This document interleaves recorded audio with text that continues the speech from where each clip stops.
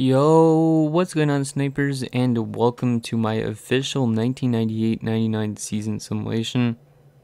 So a lot of you guys predicted on EA's thread that Detroit would win the cup or Colorado, big teams like that. Also, I feel like teams like Dallas could go on to win it, or we could just have a random team like, I don't know, the Ottawa Senators win it. Um, so let me know you guys' predictions down below if you did not see that thread at all. Uh, just because I want to see what you guys predict and see how much of you actually get it right. Because who knows with this simulation, it could just go all over the place and we could have a complete outlier win the cup. So before we start up the season simulation, I want to take into account a couple of the changes that I made. So there is now ties, because there was ties back in those days. Also, there is normal icing, so you don't have like the hybrid icing. You also have no trapezoid rule, so goalies can skate out and get the puck if they want to, but that doesn't really happen that often, I don't think.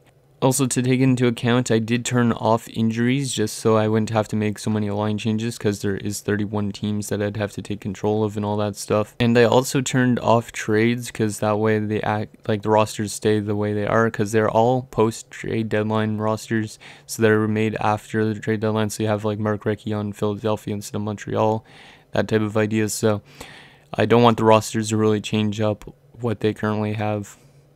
So also take into account that uh, this uh, like game has obviously only four divisions because that's the way that today's NHL is built.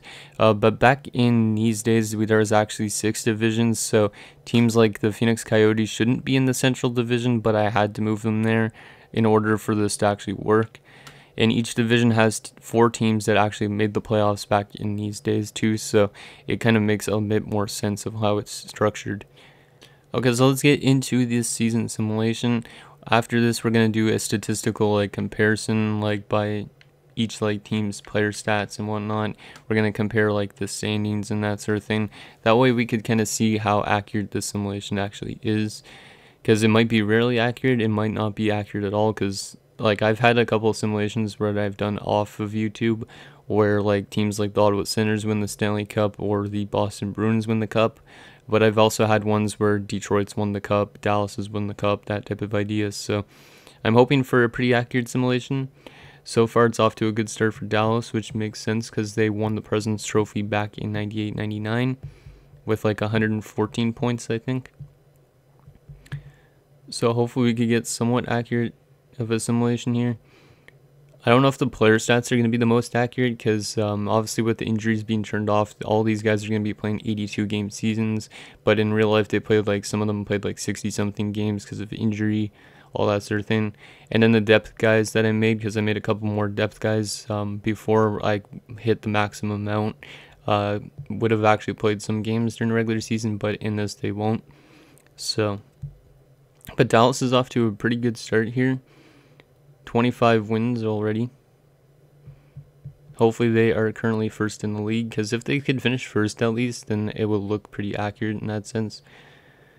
Because they were a pretty deep team in a sense, like they had a really good defensive core. Because you had like some like Sergei Zubov, you had Ed Belfour between the pipes, and then you had some guys like well, you also had good forwards, Modano, Nieuwendyk, Lehtinen, Hull. Like there's a lot of good guys on this Dallas Stars club. I'm just hoping that uh, teams that also made it, like Buffalo and stuff, actually do. Because sometimes Buffalo, they don't make it because their offense is incapable of scoring goals. Um, but obviously, their defense is really good with um, uh, Hasek between the pipes. Okay, so I'm slowing this down around this trade deadline just because the fact that the simulation actually slows down around this point. So that way we could stop it and then restart it again because we won't check player stats right until I think the end of the season simulation, and then we'll compare, and then we'll get into playoffs and all that stuff.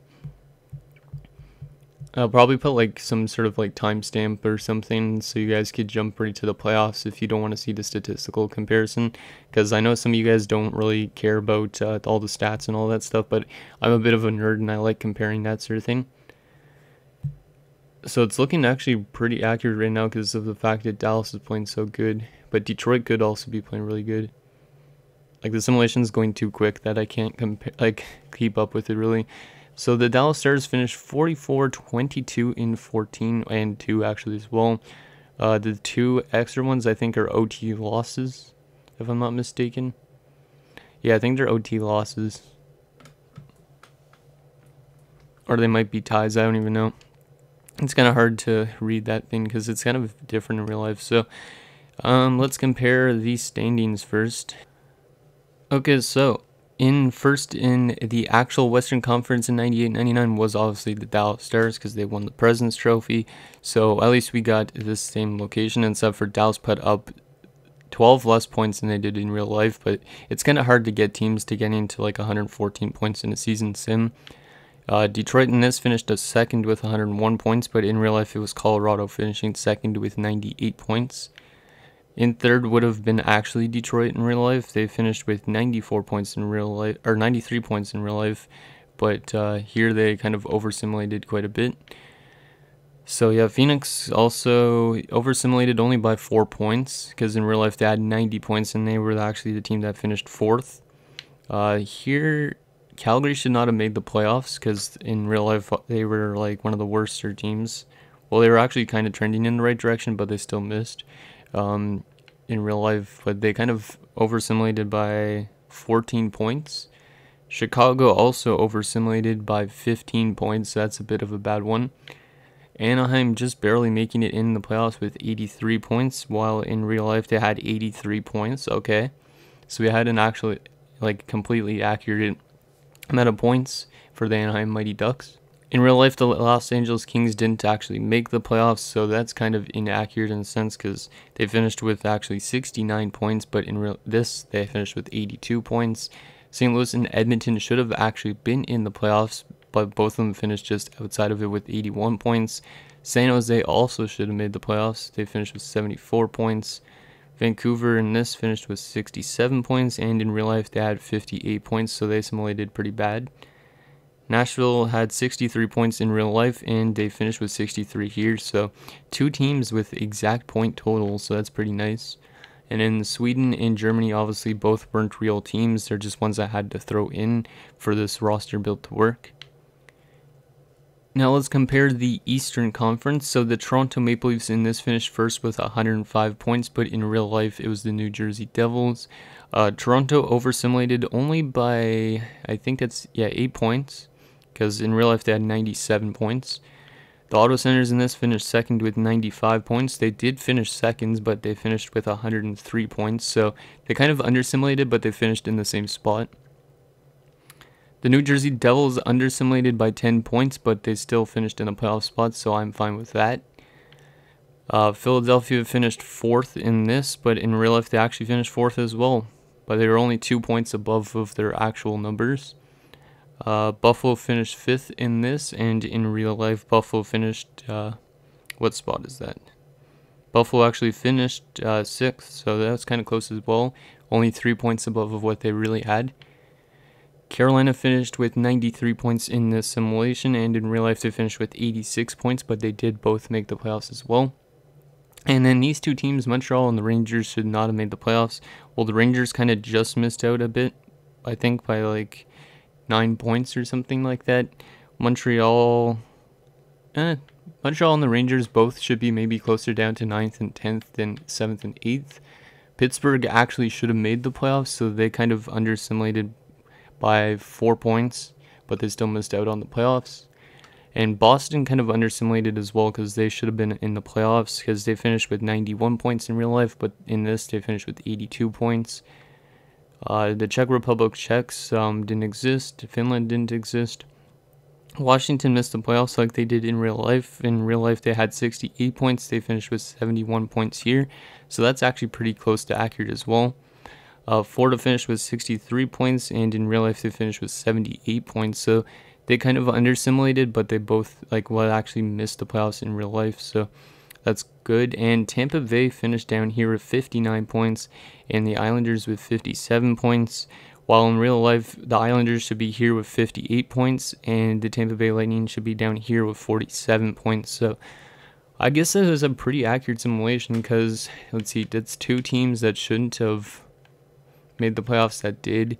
And then in the West, we have another three teams. So five teams out of the 16 teams that made the playoffs shouldn't have made the team like the playoffs. So it's not that bad of a simulation so far. Okay, so now let's compare goals for by teams in each uh, division, or not each division, each conference.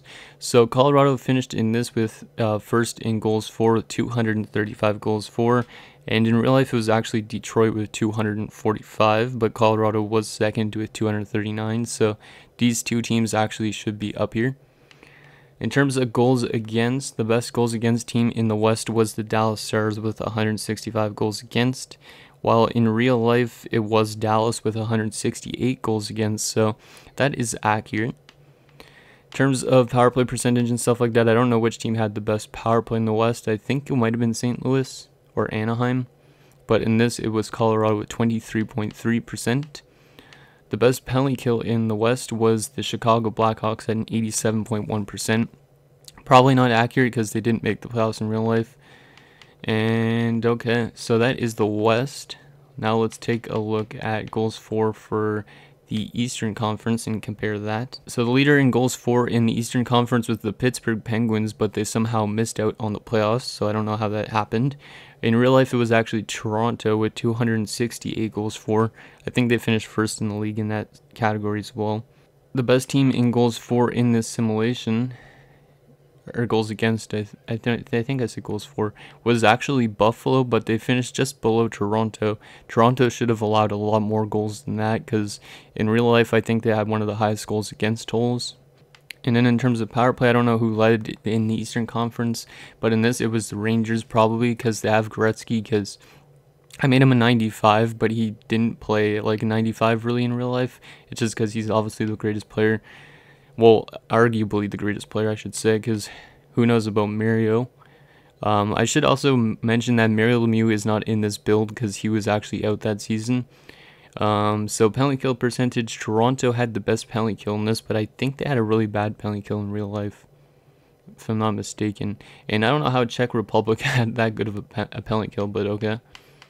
So yeah, that is the standing comparison. Okay guys, let's get into the comparison for the player stats. So we're not going to go actually team by team because that's going to take a long time unless you guys want me to do a complete separate video on each team because I could always do that. Um, but we're going to just go by league stuff right now just because this video would be way too long without it. So in terms of goals, the leader in this was Luc Robitaille and Doug Gilmour with 36 points, or not 36 points, 36 goals while in real life, it was, I think it was Teemu Selanne with like 47 goals. Because like him and Kariya were like tearing it up. In terms of assists, Peter Forsberg, 59 points. I think he, yeah, this simulation is a little bit underwhelming because like this simulation doesn't get a lot over 100 point guys. So in terms of points though, this should have been Jaromir Jagr, but it was Sakic. Where did Jagr even finish? Out of curiosity, he probably finished way down here. Because he sometimes under simulates like quite a bit. I haven't even seen him yet. Why is Brian Savage even up here? What the heck? Okay, that's weird.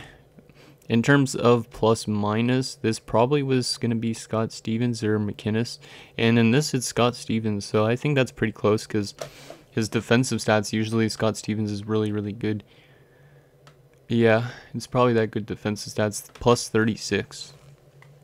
In terms of penalty minutes, the leader in this was Ken Klee with 188, which is kind of underwhelming because there's like guys like enforcers like uh, Stu Grimson and stuff like that that would put probably up a lot more penalty minutes.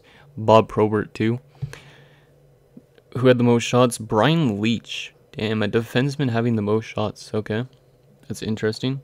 The best shooting percentage was Rob Ray. Huh, that's a little bit weird because Rob Ray had actually no goals during that season, 19.5 shooting percentage. In terms of goal, game-winning goals, Luc Robitaille, 10 game-winning goals. Okay, power play goals. Who led the power play goals? Doug Gilmour, 17 power play goals. Damn, that's a lot. Power play points, Joe Sakic with 34. Shorthanded goal leader was Tor Vikingstad, who didn't ever actually played an NHL game. He's always been in like Europe and whatnot.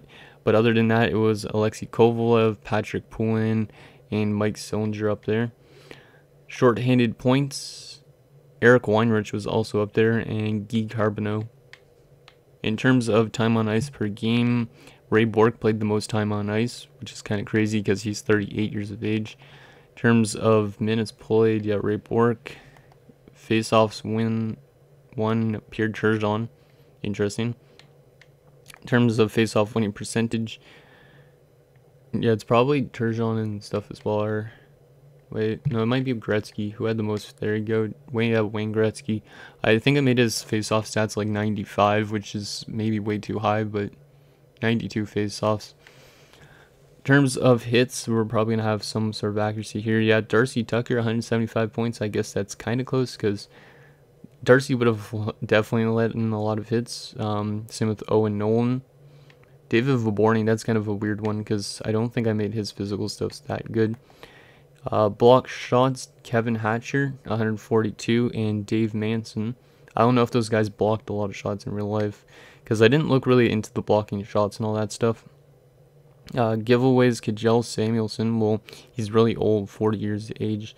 And Kari Hakana also up there. Takeaways, Ray Sheppard.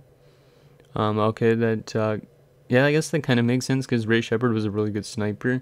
But Peter Forsberg also up there, Joe Murphy, Bobby Holik. And then in terms of fights, who had the most fights this year? Ken Klee, 30 fights. And Marty McSorley, 29 fights. Pronger also up there and all that stuff.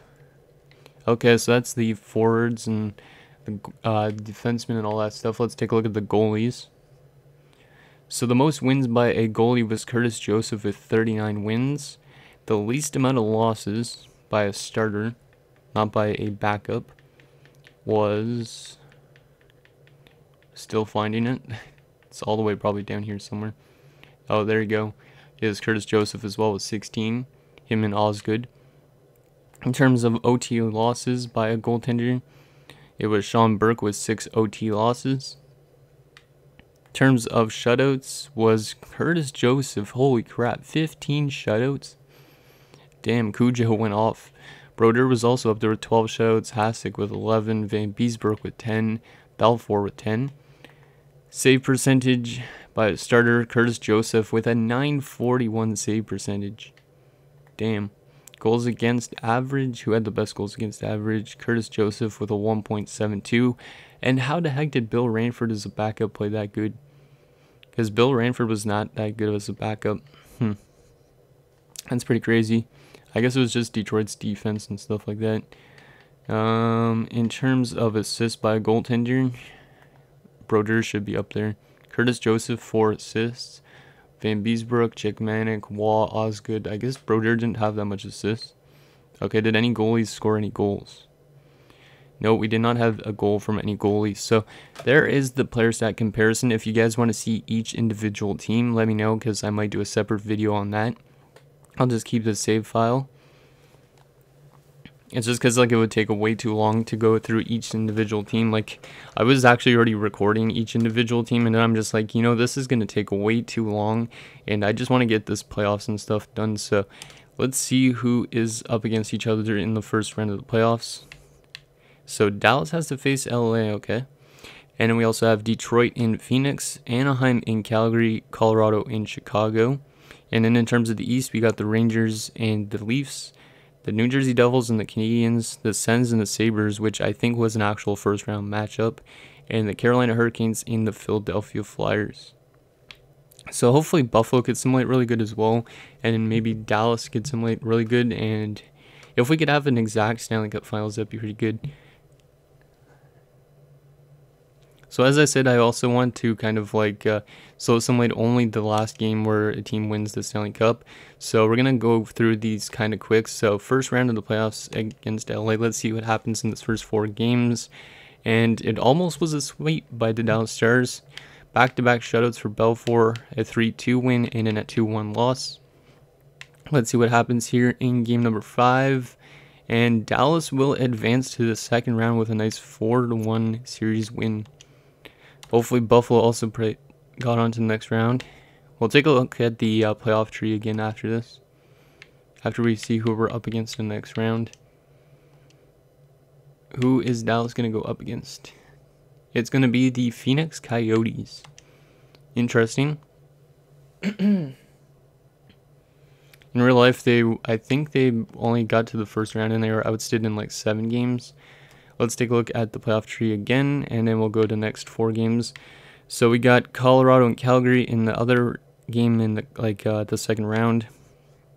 And then we got Carolina in New Jersey and Buffalo in Toronto, which was also another playoff matchup, but I believe it was the conference finals.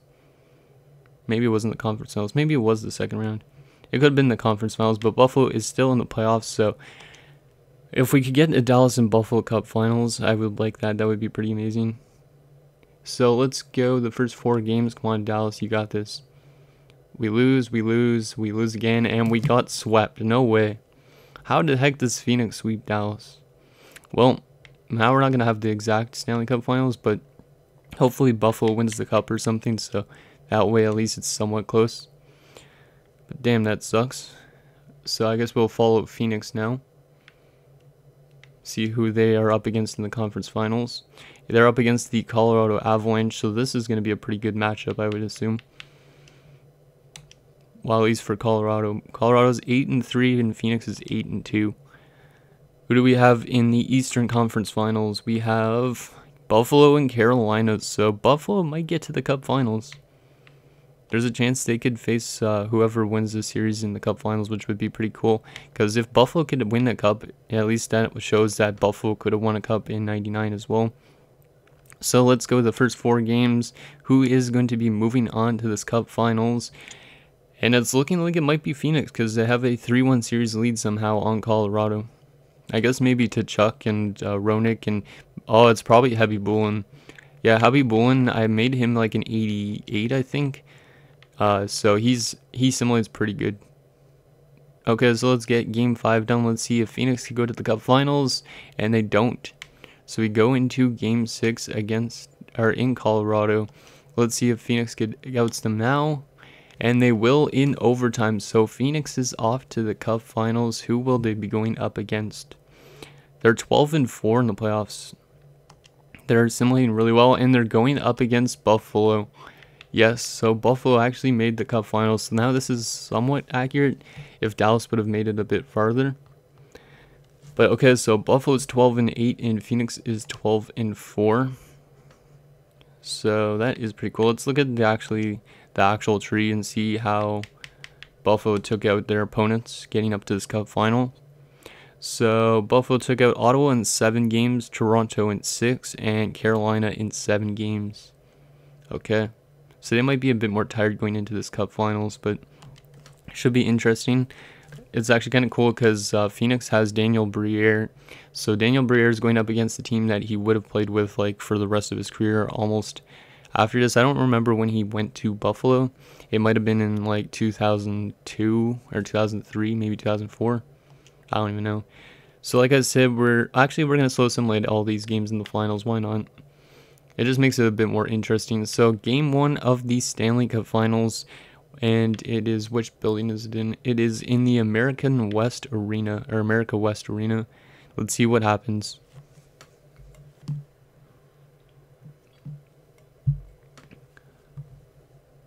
Okay, so here we go. Game one. Let's see what happens. First period, and it is scoreless. Uh, Hasek versus and That's actually a pretty good goaltending combo. Shots are 10 to 9 in favor of Phoenix. Second period, and it is 1 1. Teppo Numminen, who also played for Buffalo at a point in time, and Michael Grosek score. So it is 1 1 going into this third period. Who is going to be the hero in game one? Is it going to be the goaltenders or who's going to come out with the game winning goal? Just watch it be somebody like Daniel Briere or something. That would be pretty crazy. But it's good that Buffalo at least made the Cup Finals. That makes the simulation a bit more accurate in a sense because you have one of the two teams that made the Cup Finals in real life do it. And are we going to OT? Yes, we are. Phoenix is heavily outshooting Buffalo 34 to 25, but Hasek is keeping their team, his team in the game like he did in real life. And Buffalo wins it in overtime, 12 seconds in. Stu Barnes with the winner. So Buffalo is three games away from winning the cup. Yeah, Dominik Hasek definitely gave them that win. Also, Khabibulin played really well.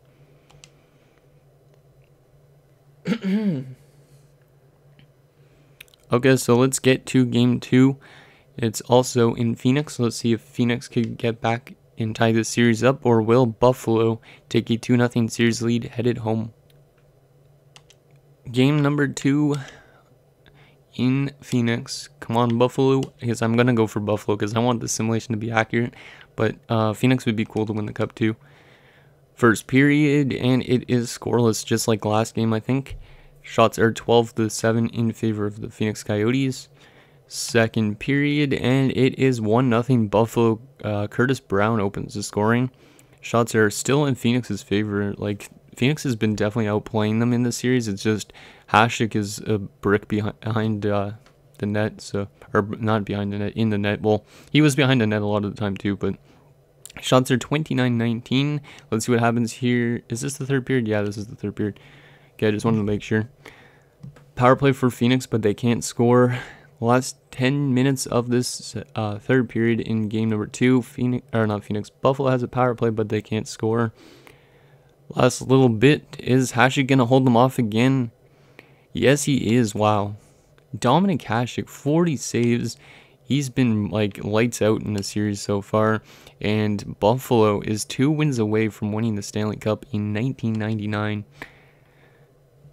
Technically, that's how it was in real life too, though, because they did lose the series in six games against Dallas, I think it was, before the controversial Brett Hull goal.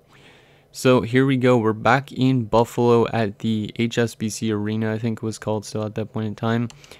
Game 3, let's see if Buffalo could take a 3-0 series lead or will the Phoenix Coyotes get at least a game in the series. First period, and it's 2-0 Buffalo. Damn, Hasek just, yeah, like, Buffalo's getting outshot every single game, but Hasek's the one reason. Curtis Brown scores, and Miroslav Satan second period, and it's 3 0 Buffalo. Geoff Sanderson. But now Buffalo's actually out shooting Phoenix for a change.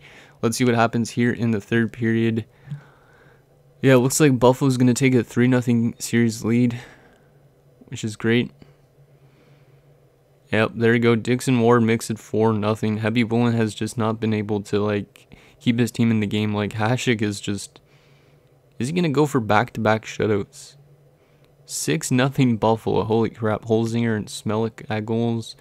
And the Buffalo Sabres, who have been playing great defensive hockey, and Hasek has just been lights out, have uh, taken a 3 0 series lead in the Cup finals. This is good. I, I want to see Buffalo win the Cup because, like, uh, if this is more accurate than it could have been, then that's good. I just wish Dallas would have made the Cup finals as well to make this more interesting. Okay, so after back-to-back shutouts and only allowing one goal in three games, can the Buffalo Sabres win the Stanley Cup? We're gonna slow simulate the entire game and we'll, inter we'll intervene like with like two minutes left, so you guys can watch the celebration and see if Buffalo, if, well, if Buffalo is winning the cup at that point in time. Michael Peca opens the scoring, beating Khabibulin early. And oh my god, Stu Barnes makes it 2 nothing. Buffalo's offense is playing a lot better than they did in real life because mainly the only reason Buffalo got as far as they did in 1999 was because of Hasek, and it's proven the same case here in the simulation. Second period underway. Phoenix needs to get their offense going. They've struggled for offense. Only one goal so far in the series. 3 nothing Rob Ray. And Primeau makes it 4 nothing. This is a lost cause for Phoenix. They're not coming back from a 4 nothing deficit, not on Hasek. Yeah, Dominik Hasek, I think I made him the second or the third highest rated goaltender in this game. So Buffalo looking to close out the Stanley Cup now on home ice. One of my friends is actually a Sabres fan, so he's going to really like this because obviously he was pretty upset with 1999 how it actually ended up. So let's get this third period underway and see if Buffalo could hold on to this win. They should be able to. I said, we'll intervene with like two minutes left or so. So Greg Adams breaks Hasek shutout. Only the second goal in the series for Phoenix, but Grosek makes it 5 to 1. Yeah, Buffalo is going to go on to win this cup. Keith Carney makes it 5 to 2. I think he was a former Sabre at one point. I could be wrong. We're going to intervene right here with a 5-2 score for the Buffalo Sabres. So I'm going to let you guys watch the celebration and all that sort of stuff. And then we're going to um, we're going to look at the players' stats for the playoffs, and then that'll be it for this video. But like I said, if you guys want to see a statistical breakdown of each individual team, let me know. I could always do a video for that. I just don't know when it will be up, maybe sometime next week. So let's get into this and I'll let you guys watch. If you're just with us, it's been a tremendous bit of hockey so far and more to come. The face-off, the tie-up, and a solid job from the winger there. Brings it in for an attack. Good place to shoot from. Save. Oh, my, what a hit. Tam's going to have to gather himself after taking that hit solidly. He was not aware where everybody was.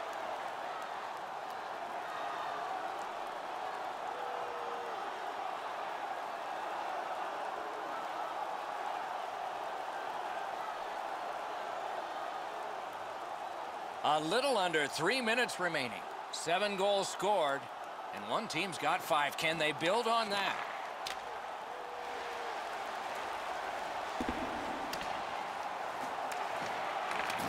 Phoenix failed to take advantage on the power play. They might regret this one. Well, they had all kinds of zone time. Really, they didn't leave the zone much at all, but they didn't get the puck into the middle of the ice. They certainly didn't have any traffic in front of the net. The penalty killers were content to let them pass it around the outside.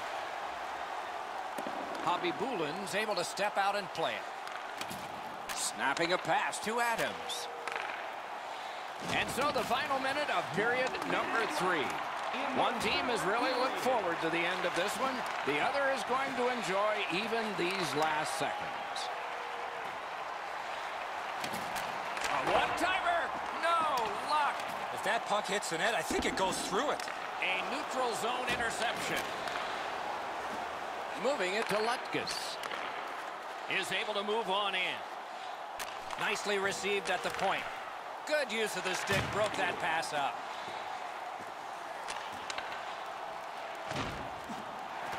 Knocked off the puck. Propelled to Para. Great save. Lots on that to Wolniski. Here he comes. Score! He's got his second.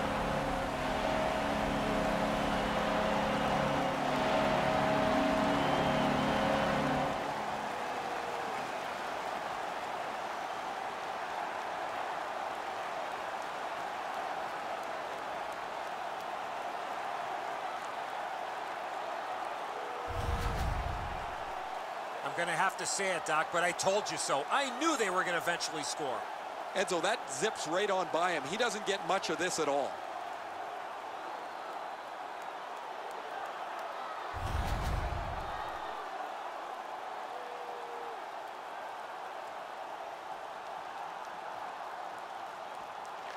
Neutral zone face-off one. Possession established here. From childhood, the daydream of getting to hold 35 pounds of history, and it's about to come true.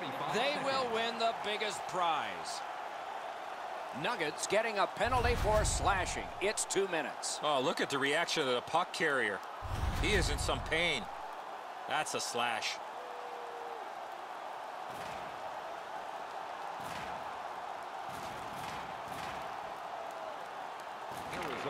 Defensive zone win. Puck went into the player's bench. They can't play it there. It's pretty funny to see fans fight for a loose puck, but as the puck's flipped up over the glass, you see everybody try to wrestle into position so they can maybe get their hands on a game puck.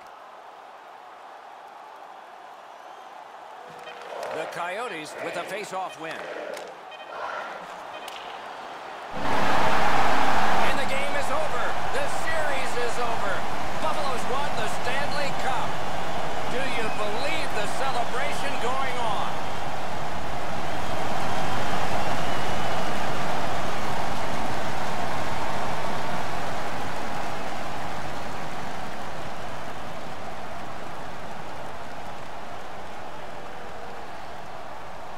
There is so much that goes into even the possibility of winning a championship. Now they have found the way to the end of the road, and the Stanley Cup is theirs.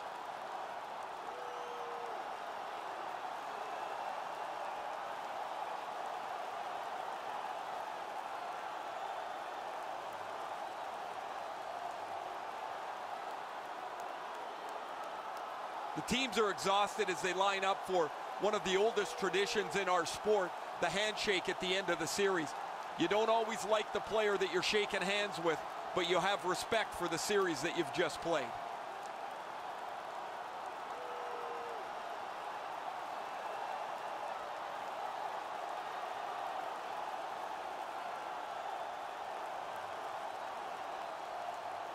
The man chosen playoff MVP gets the Conn Smythe Trophy. Boy, is this ever well deserved. This is a tremendous award that probably means more in the coming days than it does now. You don't dream of winning the Conn Smythe. You dream of the Stanley Cup.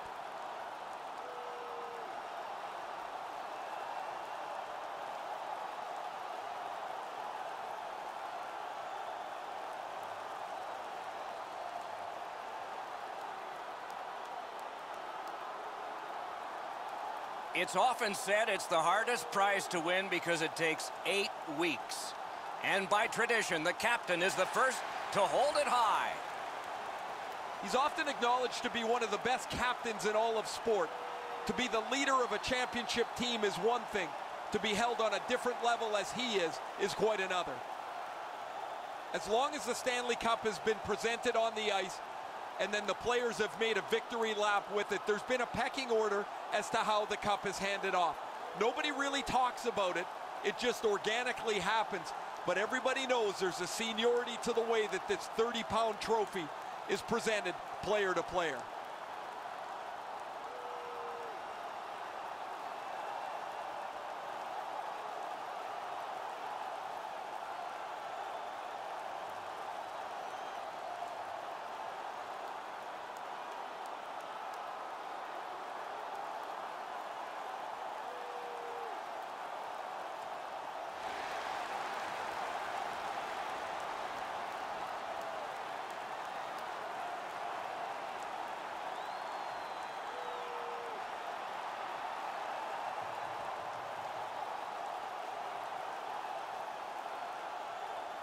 And the final event of any Stanley Cup celebration. What we see on the ice last is everyone gathered together for a very happy Stanley Cup team picture. So there you guys have it. The Buffalo Sabres win the Stanley Cup, and Dominik Hasek took home the Conn Smythe, obviously, because he was just a in the finals, only allowing three goals, I think it was, in those four games. Uh, so Grosek had three points in this finals win. He had a goal in the last minute. Rob Ray had two points and assists are your three stars. So now we're gonna go through the awards and all that and kind of compare that, and then we're just gonna take a look at the player stats for the playoffs, who is leading in points and goals and all that stuff. So, Buffalo winning the Stanley Cup makes this a pretty accurate simulation in a sense because Buffalo, I think, did they just barely squeak into the playoffs? Yeah, it looks like they might have just barely squeaked into the playoffs. I can't remember if they did or not. Uh, but they did go on to the winning the Stanley Cup because of Dominik Hasek. It just sucks for Daniel Briere because eventually he would have went to Buffalo, same with Teppo Numminen and all that sort of stuff. So they end up losing against that uh, team that they eventually played for for quite a few years, at least for Briere. Okay, so Briere and Okay, so the Buffalo Sabres took home the Stanley Cup. In real life, obviously, it was Dallas. Uh, Toronto took home the President's Trophy in this, but in real life, it was the Dallas Stars. The Clarence S. Campbell actually went to the Dallas Stars in real life too, but they didn't get it done here. And the Buffalo Sabres actually took home the Prince of Wales like they did in real life, so that's actually accurate. In terms of player awards, Joe Sakic took home the Art Ross Trophy in this, but in real life, it was Jaromir Jagr. In terms of the Hart Memorial Trophy, it went to Cujo here, but in real life, it went to Jaromir Jagr. The James Norris Trophy went to Ray Bourque in this, but in real life, it went to Al MacInnis. The Lady Byng Trophy in this went to Eric Daze, but in real life, the Lady Byng went to Wayne Gretzky. In this, this doesn't really make sense because the Calder is kind of broken when you create players. So in real life, the Calder uh, Memorial Trophy went to uh, Chris Drury another former Buffalo Sabre. Um, and actually, in this case, it went to Peter Forsberg, even though Peter Forsberg wasn't a rookie in 98 99. The Conn Smythe goes to Dominik Hasek. In real life, it went to Joe Nieuwendyk of the Dallas Stars. Uh, the Vezina in real life went to Dominik Hasek, but this case, it went to Curtis Joseph. The William M. Jennings goes to Curtis Joseph, but in real life it went to Ed Belfour and Roman Turek, who was the backup for Dallas.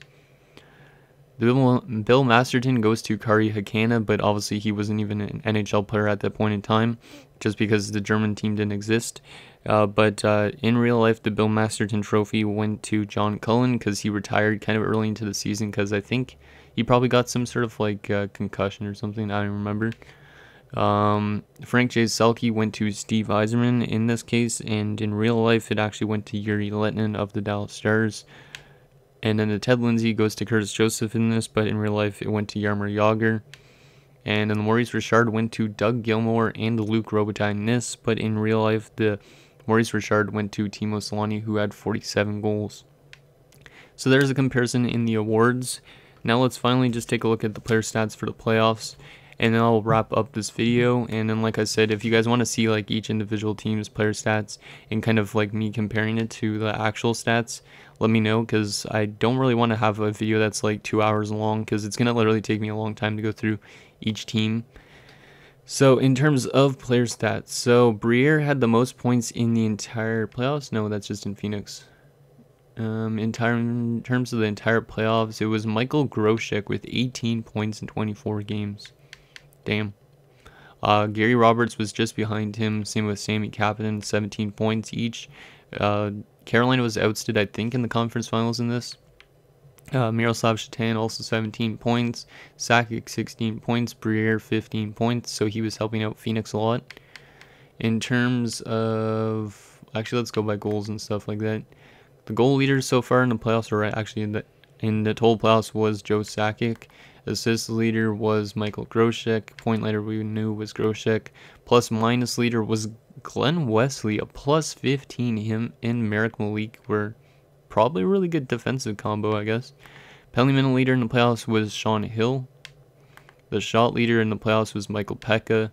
The best shooting percentage by somebody that played a lot of games was Rob Ray. I don't know how Rob Ray shoots that good.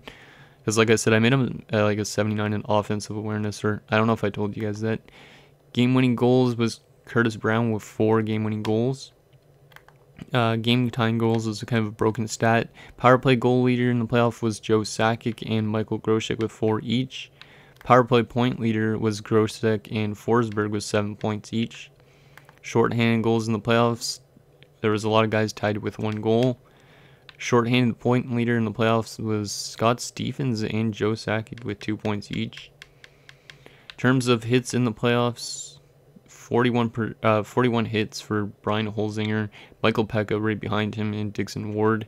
In terms of block shots, Jason Woolley 39 block shots, and Richard Smehlik. So yeah, Buffalo's defense played pretty decent as well, but they did give up a lot of shots in the first couple games of the finals. Giveaways mostly was Smehlik and McKee for Buffalo. The most takeaways in the playoffs was Robert Kron, who got to the conference finals. The most fights in the playoffs was Sean Hill. How the heck did Sean Hill have nine fights in the playoffs? And Jyrki Lumme right behind him. I think X-Tech actually met Jyrki Lumme like yesterday. In terms of goaltending, we already know Dominik Hasek played the best. Yeah, that 943 save percentage and a 1.71 goals against per game on average is pretty crazy. Khabibulin was also playing really good. Irbe was playing really good. Patrick Roy. Yeah, all the goaltenders seem to be playing pretty decently. Brodeur kind of didn't play that good. Hmm. Maybe that's why New Jersey went out so early. So anyways, guys, that is going to do it for my official 1998-99 season simulation. Like I said, if you guys want to see a stats breakdown of each player's stat, let me know because I could do a video on that. I just don't know when it'll come out. Maybe like next weekend or something instead. So let me know what you guys think, and I'll see you guys in the next one.